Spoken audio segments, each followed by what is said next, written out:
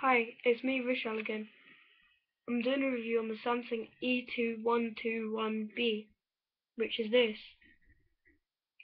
It's a really nice slimline phone with easy to use features such as the torch feature, which is this.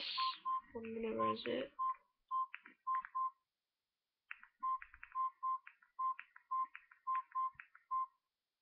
Which, when you go into menu applications, then it should go to this kind of menu.